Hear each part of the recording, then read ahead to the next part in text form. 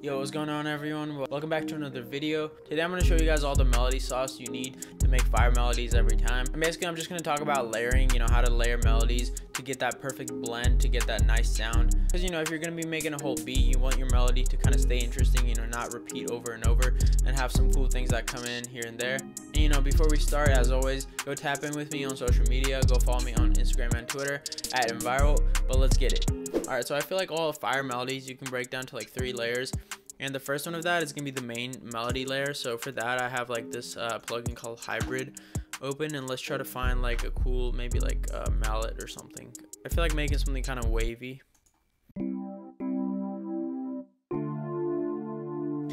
For your first uh, layer, usually it's going to be like some sort of chords or something.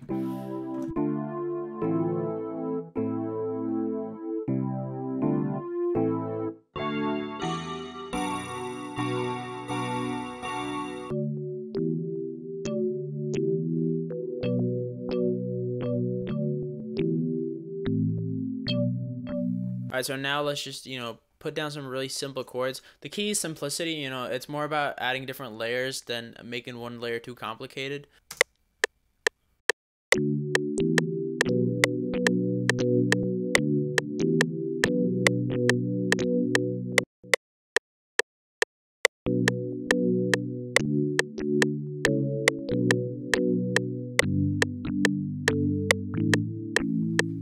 Think that's a cool like second half of the progression. It's like subtle differences, you know.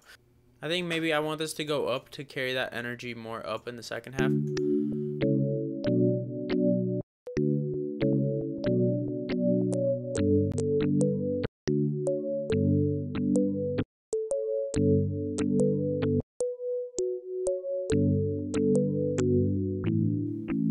That's already hella fire. Like it's literally just chords. So I basically play a chord progression and then go in and change some notes. So over here, I want this this one to go down because like it leads back down to here. So so pay attention to shapes. A melody should have a really good shape. Like it should it should follow like a line.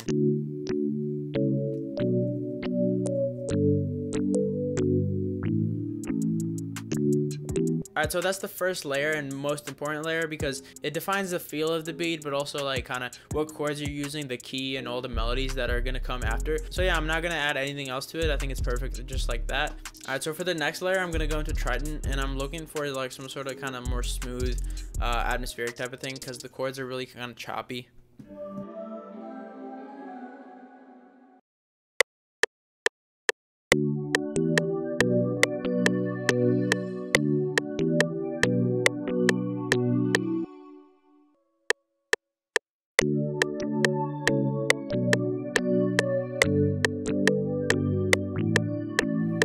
Alright, something like that, I think. I'm going to quantize that and fix some of those notes. I'm just playing, like, intervals of the chords, so just...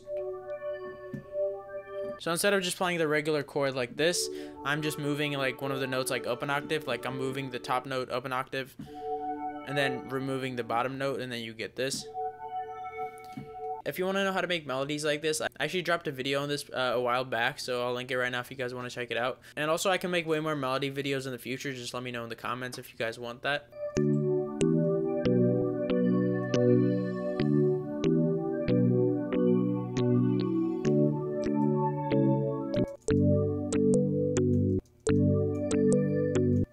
I think this is a cool pattern, but I'm to maybe try to change the instrument. And I do this a lot of times, you know, just make sure you pick a sound that you kind of like and put the pattern down. And you, know, you can always change the instrument later, but you, you can't get that idea that you have back. So don't focus too much on the instruments right away. Uh, Alright, so I actually went ahead and switched to this pad from Xpand for the second sound.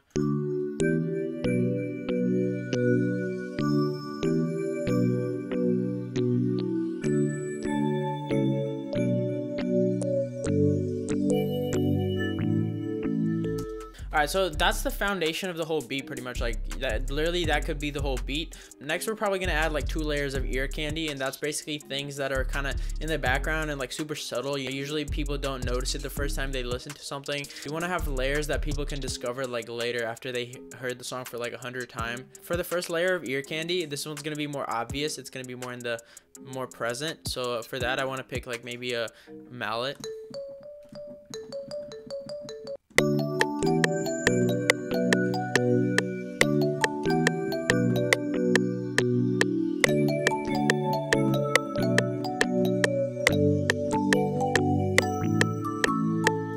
So the cool part about this pattern that I like is I played it, a lot of it on like a upbeat. Adds really nice like syncopation.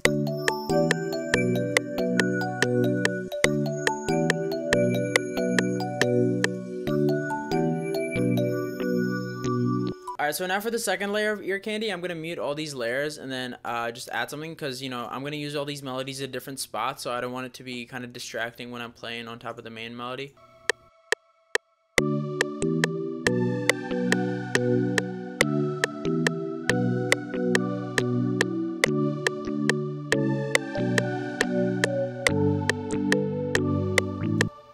Alright, so this is my last layer of ear candy, and right now it sounds like two in the center, which is fine because we're going to put hella effects on it to make it like sauced up, you know, in the background.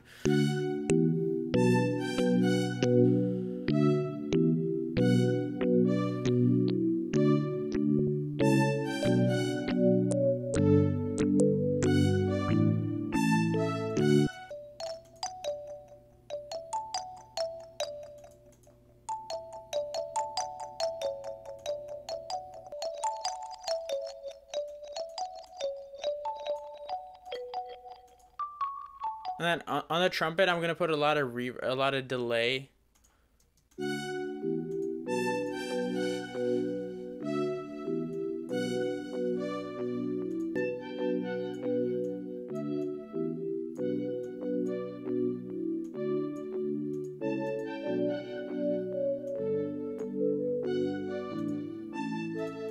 So now we're going to split all the channels and I'll just show you guys how I, would arrange this when I'm making the beat. So so I'd probably have the pluck and the ARP playing for the intro and then, and then for the hook have the pluck and the mallet and for the verse have like the pluck and maybe like the ARP like this.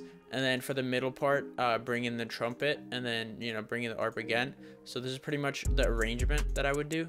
All right and then for the rest of the video I'm just gonna cook up and try to finish the beat so I'm just gonna go into my drum kit over here and pick some sounds real quick.